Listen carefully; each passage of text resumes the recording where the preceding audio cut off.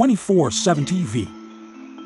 A police pursuit through a Rochester, New York, neighborhood ended with a dramatic rollover and it was caught on a doorbell camera.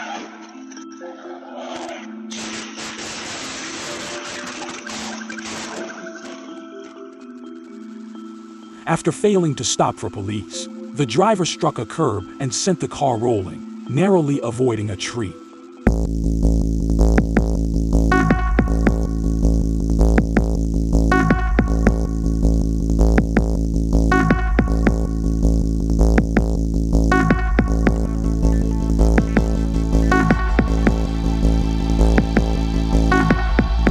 Suspects were treated for minor injuries and each charged with two counts of criminal possession of a weapon after police recovered a loaded rifle, a loaded gun, and ammunition.